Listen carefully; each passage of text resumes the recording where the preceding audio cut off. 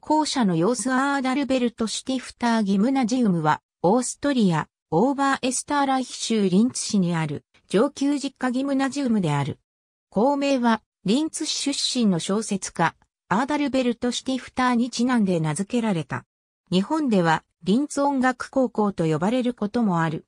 当ギムナジウムの校舎は、1904年から1905年の間にカトリック学校協会の教員養成施設のために、オーバーエスターライヒ建設会社によって建設されたものであった。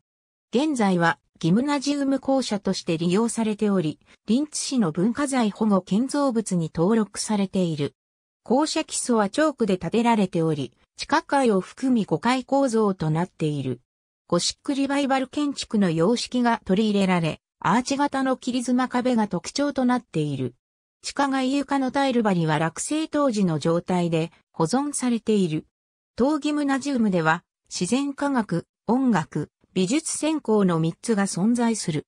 自然科学専攻は通常のカリキュラムに加えて生物学、環境学、物理学、科学などを履修することが可能である。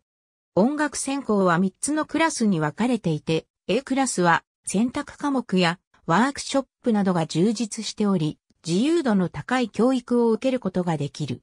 C クラスは音楽教育に特化されており、器楽の他に合唱などを中心的に学習する。M クラスはプロの音楽家を目指す生徒に対して特に音楽関連授業を専門的に展開する特進クラスである。美術専攻は絵画や手工芸など様々な芸術科目が展開されている。当ギムナジウムは校内で音楽実技分野を指導していない。音楽実技分野の授業を希望する生徒は、定型大学であるアントンブルックナー私立大学で試験を受け合格しなければならない。また、2016年より、東ギムナジウムと日本の国立音楽大学附属高等学校との間に留学提携がある。ありがとうございます。